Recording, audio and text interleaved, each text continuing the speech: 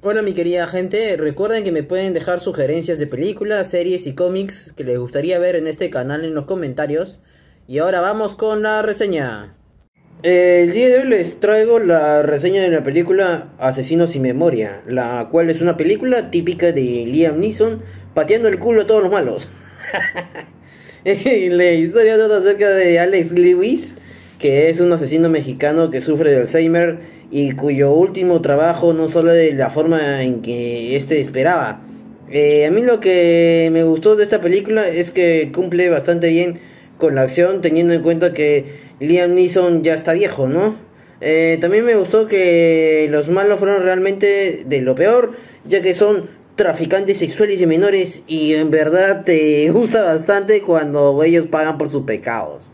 Eh, por último, me gustó que se prestara atención a la gente del FBI y al policía mexicano, ya que son estos los que realmente llevan buena parte de la película y la verdad es que son bien desarrollados para que sean lo suficientemente interesantes de ver, ¿no?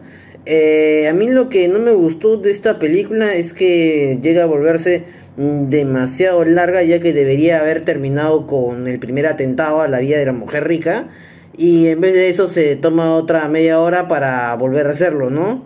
Eh, tampoco me gustó que haya personajes que no sirvan de nada, como por ejemplo el jefe de la gente, el cual básicamente no hace nada importante a lo largo de la película. por esas razones yo le pongo de nota a esta película un 3 de 5 estrellas, ya que llega a ser lo suficientemente entretenida para pasar el tiempo a pesar de sus fallas. Eh, yo se lo recomiendo a las personas que les guste las películas de acción y de suspenso. Y bueno, mi querida gente, quisiera saber cuál película de Liam Neeson es su favorita hasta ahora. Eh, por último, denle me gusta mi reseña, compartanla en las redes sociales y suscríbanse a mi canal para recibir más reseñas de películas, series y cómics. Y bueno, eso sería todo por hoy. Hasta luego. Adiós.